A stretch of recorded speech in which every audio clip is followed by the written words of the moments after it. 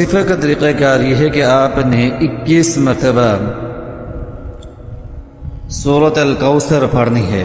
اس طرح آپ نے صورت الکوثر پڑھنی ہے کہ ایک مرتبہ آپ صورت الکوثر پڑھیں گے اور اس کے بعد ایک تسبیح، لا حول ولا قوت الا باللہ العلی العظیم کی کریں گے۔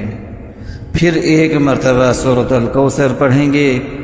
اور ایک تسبیح لا حول ولا قوت الا باللہ العلی العظیم کی کریں گے۔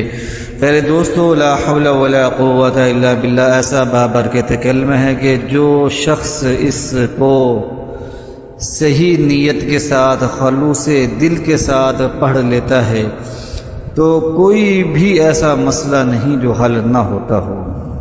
تنگ دستیاں دور ہو جاتی ہیں رزق اندر فراوانی آتی ہے جو